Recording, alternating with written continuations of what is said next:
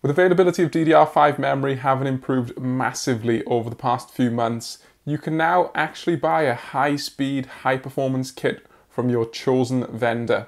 In this review, we're examining the latest Team Group offering, that is the T-Force Delta RGB set of memory that comes in black or white form and with varied specifications. The specific set that we have is white coloured and operates at 6400 MHz CL40 for its two 16 gigabyte modules. Let's take a closer look at this high-speed set of DDR5 memory.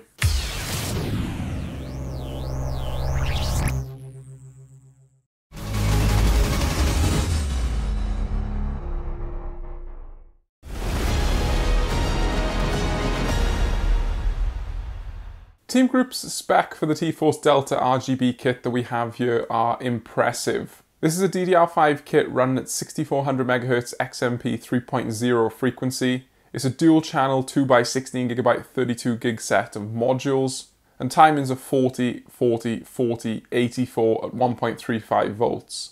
The set uses SK Hynix ICs under the heat spreader according to CPU-Z. We can't give you any more details on that though unfortunately because Thaiphoon Burner still doesn't seem to work with DDR5 memory and the Z690 platform. Also worth pointing out is that you get a thermal sensor on the modules and that's very handy for reading the temperature of the kit in software such as Hardware Monitor for example.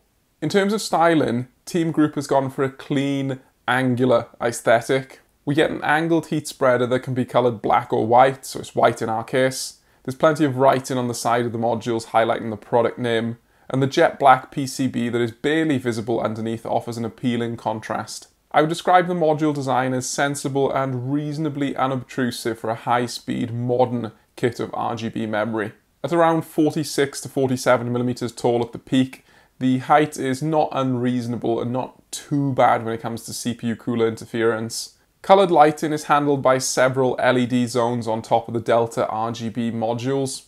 This light then disperses through a plastic diffuser bar for a smooth and graduated colour gradient. I think the team group does a good job with the RGB's visual appearance and the quality of the lighting. The brightness is a clear strength, and the fact that the diffuser bar is visible from the side, not just from above the heat spreader, that will appeal to many. But that's my opinion on the RGB lighting setup. What are your thoughts on it? Let us know in the comment section down below. In terms of RGB management, Team Group has gone for my personal preferred approach, so that's hands off and leave it to the motherboard vendor. So you're to have to use your motherboard vendor software to control and synchronize this kit. So of course that's Asus, Gigabyte, Biostar, ASRock and MSI, all the big go-to brands. Pricing of this 32GB 6400 MHz CL40 variant of the Team Group T-Force Delta RGB DDR5 is very high in the UK currently, at around £449.99 on Overclockers UK. That is very expensive for a 2x16GB kit of DDR5 memory. And that's particularly pertinent when 6000 to 6200 MHz kits from competitors such as Corsair are well over £100 cheaper or somewhere in the order of £100 cheaper, even if you're looking at Dominator Platinum RGB, so super premium memory. In the US, Team Group's pricing is far more reasonable at 349.99 US dollars on Amazon, though this could be a temporary price decrease from 440 US dollars. Mid 300s is comparable to the likes of G.Skill Trident Z5 RGB, so Team Group is positioning themselves against some other premium kits from premium vendors. So Team Group is notably more expensive for its 6400 MHz DDR5 memory in the UK, but 6.4 GHz memory is very high end, and it commands a price premium anyway. Plus, it's difficult to come by and there's not all that much competition, so if you really want super high speed memory like this, you're just going to have to stomach the price increase versus 6200 or 6000 megahertz kits. You'll just have to do it.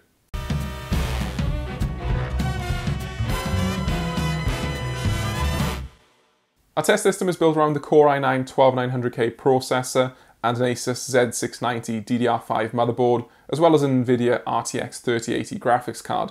We've got comparison data from a 32GB set of Corsair Dominator Platinum 5200MHz CL36 memory.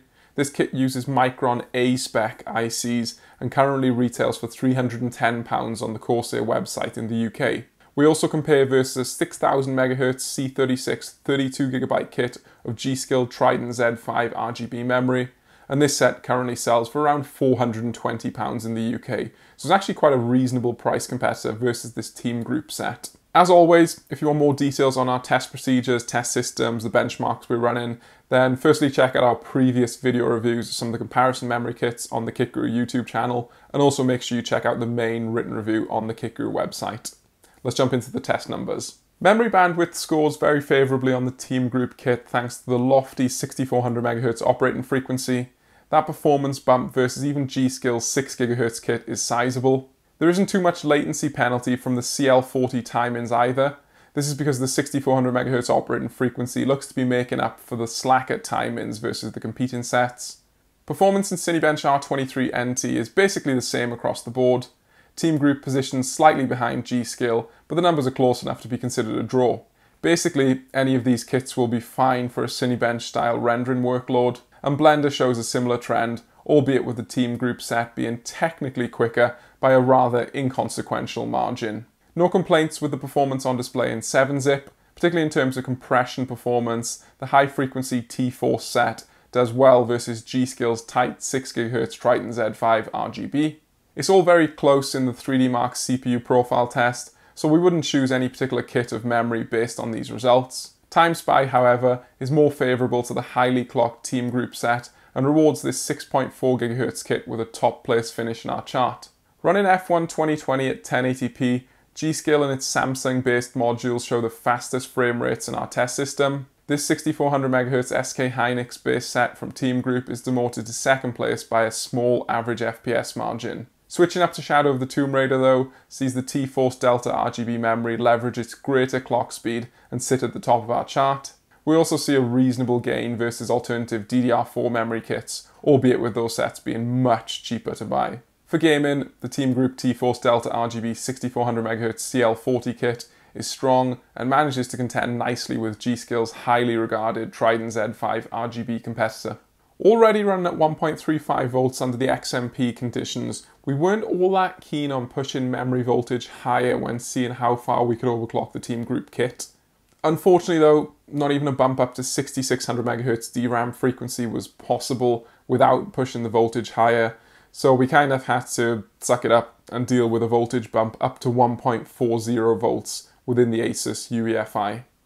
The best overclock that we managed to achieve was 6600 MHz with stock timings at 1.4 volts.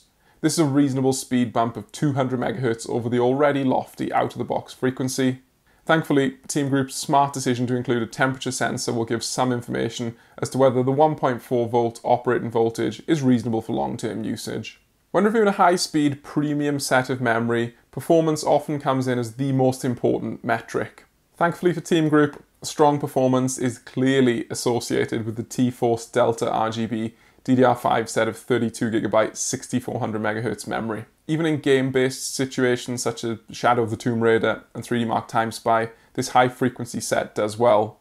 And the competition versus G-Skill's 6GHz kit in our charts is apt, as there isn't too much pricing difference between these sets, so that's another good point for Team Group's offering. Styling is very good in my opinion, and I really like the white heat spreaders on you. I think that's a nice clean aesthetic that is a nice contrast against the black PCB. The RGB lighting bar is also good to my eyes. I was happy with the brightness levels, the granularity of the colours was positive, and control through motherboard vendor software remains my preference. I guess one area of styling that's a little bit questionable is the angular heat spreader design with respect to module height.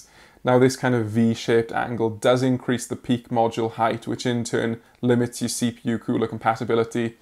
It's not a big deal, but it is something to bear in mind because it's not an overly efficient height design from that perspective. Clearly the biggest issue with the Team Group T-Force Delta RGB DDR5 set of memory in this 6.4 GHz form is the pricing. At £450 current availability in the UK, this is a ludicrous price point for a 32GB set of DDR5. Team Group really is expecting buyers to pay a hefty premium to get that 6.4 GHz rated clock, even versus 6 and 6.2 GHz competent memory.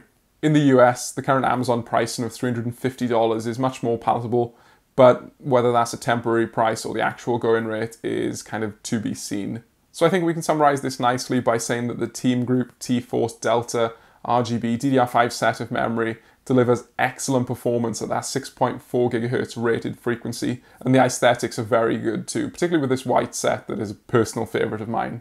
The pricing, however, is extremely high in the UK, not so bad in the US, but very high in the UK. So you really will have to value that 6.4 gigahertz XMP frequency to take the stomach punch of a 450 pound wallet deduction. That's quite a bit, but if you're a hardened enthusiast, perhaps it's worth it. Let me know in the comment section down below what you think about that point. I've been Luke Hill for KitGuru. Thank you for watching our video review of the Team Group T-Force Delta RGB DDR5 memory in this white form.